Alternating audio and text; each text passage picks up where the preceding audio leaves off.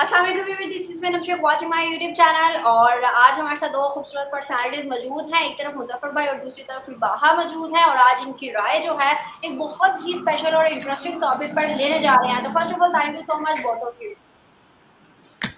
thank you so much آپ نے ہمیں بلایا۔ اچھا مظفر بھائی اور آپ سب جانتے ہیں کہ جو امبانی کے بیٹے کی پری ویڈنگ ہوئی تھی، اس کے چرچے پوری دنیا میں تھے۔ پاکستان میں بھی ہر سوشل میڈیا ہر پلیٹ فارم ہر بندے کے اکاؤنٹ میں ایک ایک ویڈیو لازمی تھی۔ وہ اتنے ہی چرچے عام پر تھی۔ اب ہر کسی نے ڈسکس کیا تھا کہ اس کی پری ویڈنگ اتنے پیسے لگے، اتنے لوگ آئے۔ اتنا خرچہ ہوا، اتنے کھانے بنائے اور اتنا سب کچھ انہوں نے مطلب کیا ہے، یا پھر انہوں نے ڈانس دکھایا مطلب جو چیزیں بھی انہوں نے دکھائی وہ سب کچھ پاکستان میں بھی چل رہی تھی۔ لیکن کچھ چیزیں جو کہ نہیں دکھائی گئی اور کچھ چیزیں جو کہ چھپی ہیں، ان پر آج ہم نظر ڈالیں گے اور تھوڑا سا کمپیریزن کریں گے۔ پاکستان کے لوکل جو کہ امیر ترین لوگ ہیں اور انڈیا کے لوکل جو کہ امیر ترین لوگ ہیں، ان کے ساتھ۔ اور فرسٹ جو ہے ہمارے ہم دیکھتے ہیں کہ جو لوگ آئے ہوئے تھے لائک فیس بک کا آنر تھا بل گیٹس تھے ادانی تھے، یا اس طرح کے اور جو لوگ تھے، وہ صرف آئے تھے۔ یہ کہہ کر ہم لوگوں نے انٹروڈیوس کروایا تھا کہ کچھ لوگوں نے پیسے لیے ہیں۔ تو جو آئے تھے، انہوں نے دیا کیا؟ امبانی کے بیٹے کی ویڈنگ پر انہوں نے دیا کیا گفٹ کے طور پر۔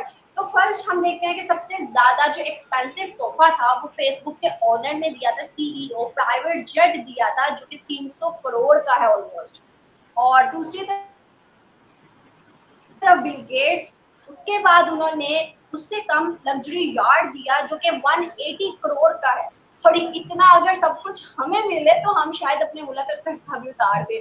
اتنا پیسوں کا انہوں نے صرف انہیں ایکسپینسو گفٹ دیا ہے۔ سندر پچائی نے ہیلی کاپٹر دیا سو کروڑ کا اور اس کے بعد ڈونلڈ ٹرمپ کی جو ڈاٹر ہیں، انہوں نے یو ایس اے میں ایک ہاؤس دیا ایٹی کروڑ کا۔ اس کے بعد ایٹ دا اینڈ اندانی دبئی ولا دیا ففٹی کروڑ کا۔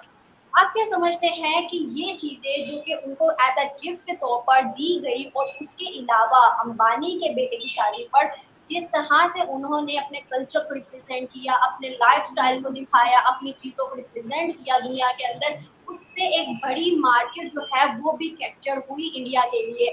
اور کیا کہیں گے پہلے مدثر بھائی؟ آپ سے جانتے ہیں مظفر بھائی۔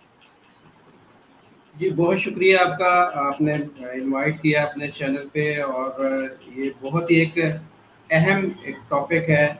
پورے سوشل میڈیا کے اوپر اس وقت امبانی امبانی ہو رہا ہے اور ہم دیکھ رہے ہیں کہ پورا بالی ووڈ وہاں پر پہنچا ہوا ہے۔ پورے دنیا کی جو پرسنالٹیز ہیں اس وقت وہ وہاں پر پہنچی ہوئی ہیں۔ آپ نے بات کی کہ وہ انہوں نے اس کے ساتھ ساتھ اس طرح کے لوگوں کو وہاں پر انوائٹ کیا جس کی وجہ سے ان کے بزنس کو بھی جو ہے وہ گرو مل سکتی ہے۔ اس وقت اگر امبانی کے جو اثاثے ہیں، اس کی بات کی جائے تو ایک سو تیئیس بلین کے قریب اس کے اثاثے ہیں ان کے۔ اور وہ ایشیا کے نمبر ون اس وقت امیر ترین آدمی ہیں اور دنیا کے گیارہویں امیر ترین آدمی ہیں۔ اور پاکستان کے جو سب سے امیر ترین ہیں، وہ شاہد خان ہیں، وہ ان کے پاس گیارہ کے قریب، بلین کے قریب ہیں، ان کے اثاثے ہیں۔ اور دوسرے نمبر پہ آپ جانتی ہیں، میاں منشا ہیں۔ جو پاکستانی بینکر ہیں اور یہاں پر ان کا ساتھ میں فیصل آباد کے اندر ہی ان کا ایک ٹیکسٹائل مل بھی ہے۔ ان کے پانچ بلین کے قریب اثاثے ہیں۔ تو فرق دیکھیں کتنے، ایک سو تیئیس بلین کہاں اور پانچ بلین کہاں۔ تو یہاں پر دیکھیں کمپیریزن جو ہے وہ پھر نہیں بنتا کہ ہم ان کا کمپیریزن ادھر پاکستانیوں کے ساتھ کریں۔ ان کی پرائرٹیز اور ہیں۔ وہ اگر کوئی بھی کام اور سب سے بڑی بات ہے کہ وہ جو امبانی ہے وہ گجراتی بزنس مین ہے دنیا کے اندر سب سے جو اچھے بزنس مین اگر گنے جاتے ہیں، تو گجراتی لوگ گنے جاتے ہیں کہ گجراتیوں جیسا بزنس پوری دنیا کے اندر کوئی نہیں کر سکتا۔ وہ کبھی وہ گھاٹے کا سودا نہیں کرتے۔ ان کی اگر شادی یہاں پر وہ ہو رہی ہے، جس طریقے سے انہوں نے میں نے دیکھا کہ سامسنگ کے جو سی او ہے وہ وہاں پر آئے ہوئے تھے۔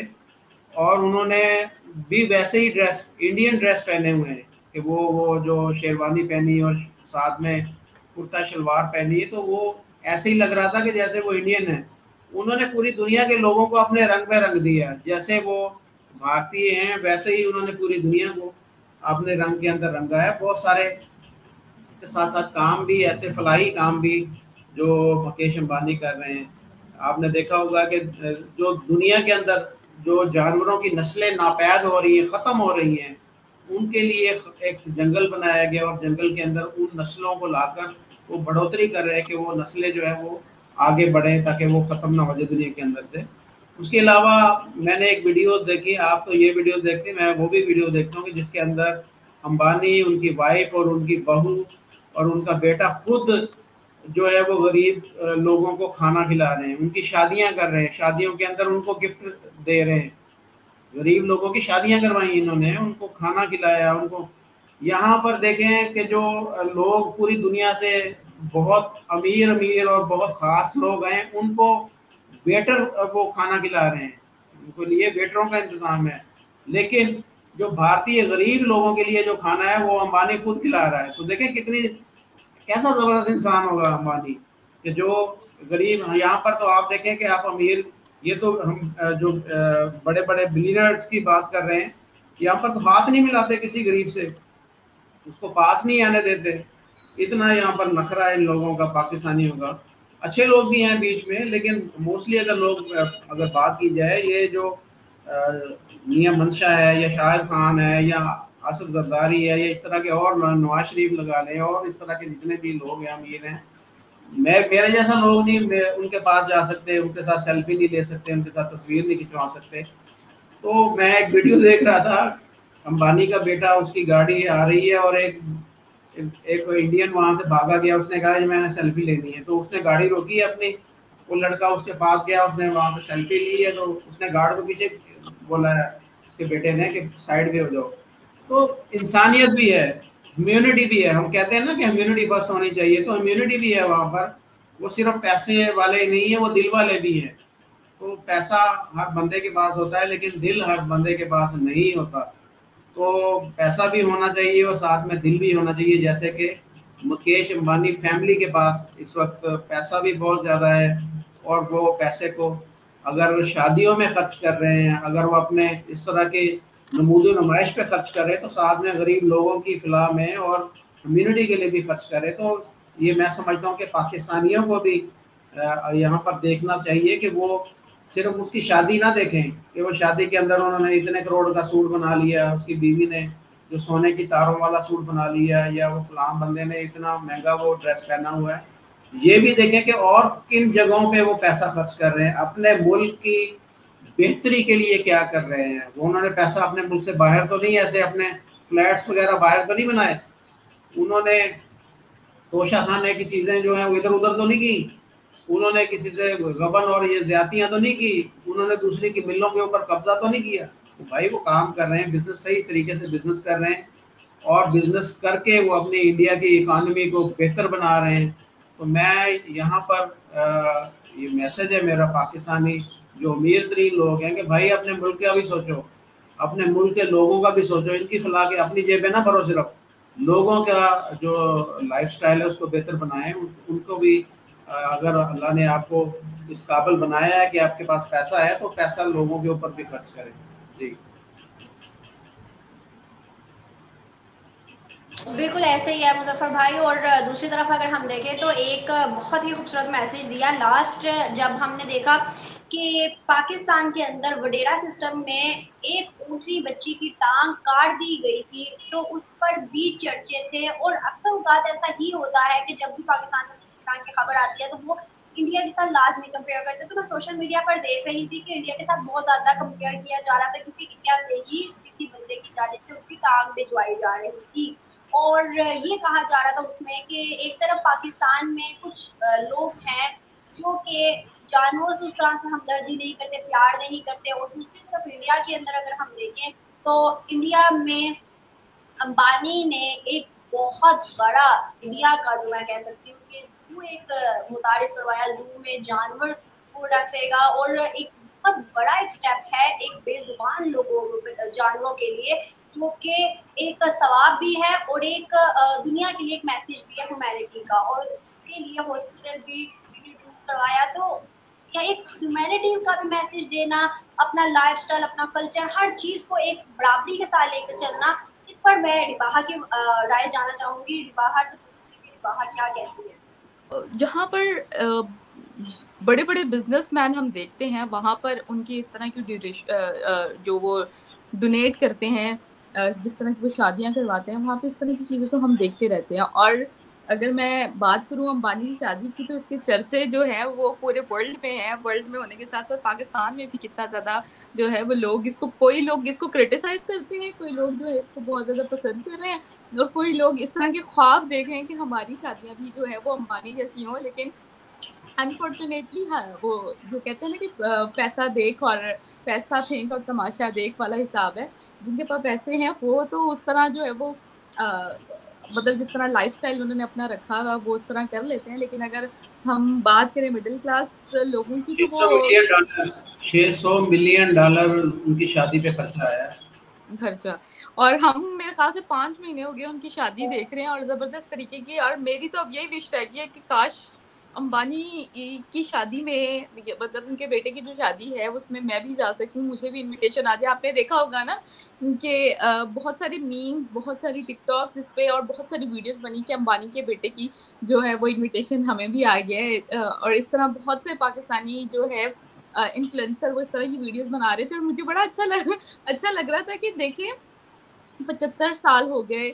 اتنی نفرتوں کے بعد بھی لوگ ایک دوسرے کو کتنی محبت کرتے ہیں، لوگ ایک دوسرے سے لوگوں یعنی کہ لوگ ایک دوسرے کی شادیوں سے کتنا انفلوئنس ہوتے ہیں اور کتنا زیادہ محبت کر کے اس طرح کے ویڈیوز کو اپنے مطلب اپنی بلاگ میں بنا رہے ہیں ذکر کر رہے ہیں بار بار اور ویڈنگ ڈیسٹینیشن ان کی خوبصورت سی تھی جس طرح تین خانوں کو انہوں نے ایک سٹیج پہ افورڈ کرنا۔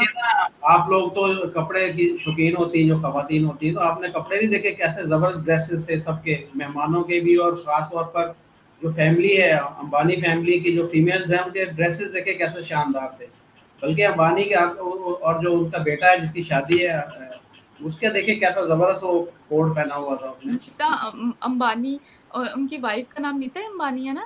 انہوں نے ہاں نیتا نام ہے نا ان کا۔ نیتا جی ایسا ہی کچھ نام ہے میں ہاں جی۔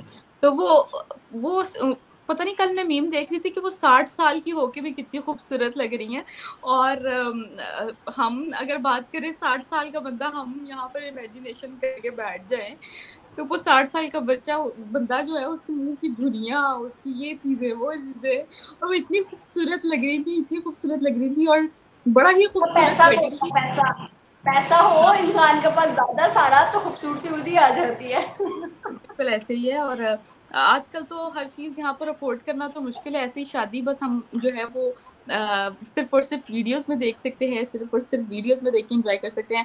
اگر اگر ہمیں انویٹیشن آئے نا انم، تو ہم بھی سب سے پہلے جا کر وہاں پر کام کریں اور کام کرنے سے مراد یہ کہ وہاں جا کر ہم بھی اس طرح کی ویڈیوز بنائیں اور انجوائے کریں ان کی ویڈنگ کو۔ اور ابھی تو ہم پاکستان میں بیٹھ کے ان کی ویڈیوز، کلپس دیکھ کر جو ہے اس پر ہم انجوائے کر رہے ہیں اور وہ سوچیں جو لوگ وہاں پہ گئے وہ کتنا انجوائے کر رہے ہوں سب سے پہلے نا میں میرا مشورہ یہ میرا مشورہ یہ ہے سب سے پہلے آپ یہ دیکھیں کہ پاکستانی جو لوگ ہیں وہ ہندوؤں کی شادی میں جاتے ہیں۔ یہاں پر کتنے ہندو ہمارے بھائی ہیں رہتے ہیں۔ کبھی کوئی پاکستانی مسلم جو ہے ان کی شادیوں میں شرکت کی ہے۔ بہت کم لوگ ہیں جو ان کے فیسٹیول میں یا ان کی جو اس طرح کی جو تقریبات ہیں شادی وغیرہ ان کے اندر جاتے ہیں۔ تو امبانی کی جب باری آتی تب ہمیں یہ چیز نہیں نظر آتی کہ وہ بھی ہندو ہے پھر وہ وہاں پر یہ دیکھتے ہیں کہ یار وہ پیسے والا بندہ ہے اور وہاں پر جائیں گے تو کچھ ملے گا یا کچھ ہوگا۔ وہاں پر بھاگ بھاگ کے پاکستانی جاتے ہیں۔ پہلے ادھر والے ہندوؤں کے گھر میں تو جا کے دیکھو سندھ میں جو ہے ہندو ہیں کبھی ان میں چلیں ربا ان کی شادی میں شرکت کریں۔ چلتے ہیں چلیں مظفر بھائی اب جب بھی آپ جائیں گے نا حیدرآباد مجھے بھی بتائیے۔ چلو ٹھیک ہے۔ ٹھیک ہے نا۔ دوسرا کوشچن یہی کرنے لگی بھائی کہ اگر ہم بات کریں امبانی کی شادی کی تو جہاں چرچے تھے پاکستان میں بھی اتنے زیادہ ہر سوشل میڈیا پلیٹ فارم پر چرچے تھے۔ لیکن ہم نے دیکھا کہ کافی بڑے بڑے لوگوں کو انویٹیشن آیا انوائٹ کیا گیا۔ وہی پاکستان میں بھی ایک آدھے بندے کو انویٹیشن آیا تھا لیکن اس میں سے کوئی گیا نہیں۔ کیا آپ کو لگتا ہے کہ یہ ایک میسج اچھا تھا یا ہمیں جانا چاہیے تھا یا پھر ہمیں اس طرح سے انہوں نے انویٹیشن لینی تھی یا کیا اس پہ آپ کو لگتا ہے؟ دیکھیں، اگر مجھے ویسے تو پتا نہیں کہ کسی کو بلایا گیا تھا یا نہیں بلایا گیا۔ میں لیکن اگر کسی کو بلایا گیا تھا تو جانا چاہیے۔ یہ تو دیکھیں، یہ تو دعوت قبول کرنا جو ہے وہ اگر ہم کہتے ہیں نا، ہر بات کو ہم اپنے ریلیجن میں پہلے دیکھتے ہیں۔ تو اگر ہم اپنے ریلیجن میں ہی دیکھیں تو دعوت قبول کرنا جو ہے وہ آپ کے اوپر فرض ہے کہ اگر کوئی آپ کو دعوت دیتا ہے تو آپ کو وہ قبول کرنی چاہیے۔ تو اگر امبانی جی نے کسی کو بلایا تھا پاکستان سے تو وہ تو اس کو بھاگے بھاگے جانا چاہیے تھا۔ اور وہ تو دیکھیں، وہ تو سب سے پہلے ہے۔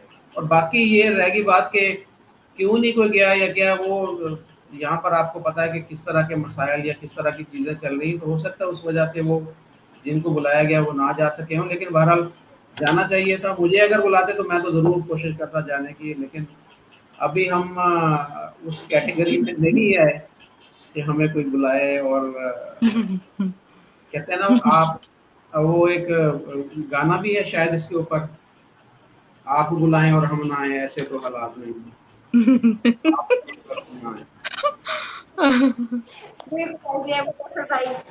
اچھا جی اس کو ہم اینڈنگ کرتے ہیں اور جس طرح سے کافی چیزوں پر ہم نے نظر ڈالی ہے اور میں نے دیکھا ہے کہ شاید نہیں پاکستان میں اتنی ویل کسی کی پری ویڈنگ یا ویڈنگ ہوئی ہو جس طرح سے اور جس طرح سے دنیا صرف پاکستان کی بات نہ کرے پوری دنیا میں میں نے ایسی شادی شاید نہ دیکھی ہو۔ صحیح بات ہے۔ ہاں میں بھی پوری دنیا میں ایسی شادی نہیں ہوئی اور جس طرح سے نام ورڈ پرسنالٹیز کو ایک ایک کو چن چن کے امبانی نے بلایا ہے شاید ہی کسی نے اس طرح سے بلایا ہو یا پھر جس طرح سے اپنے کلچر کو انٹروڈیوس کروانے کے لیے سلمان خان شاہ رخ خان اور پتہ نہیں تیسرا کون سا خان تھا، ان تینوں کو ایک ہی مطلب اسٹیج پہ انہوں نے ڈانس کروایا تھا یہ بہت بہت بڑی بات ہے کہ ایک بندے نے یہ سب کچھ کر دیا اور ایک میسج دیا دنیا میں۔ تو خیر شادی کے چرچے تو بہت تھے اور آپ کی اس پر اپنی کیا رائے ہے دیکھنے والوں کی، نیچے بتائے گا کمنٹ باکس میں۔ اور آج کی ویڈیو کیسی لگی ہے اور اباہا اور بھائی کی باتوں سے آپ کتنا ایگری کرتے ہیں، کیا کہنا چاہتے ہیں؟ سب کچھ بتائے گا نیچے کمنٹ باکس میں۔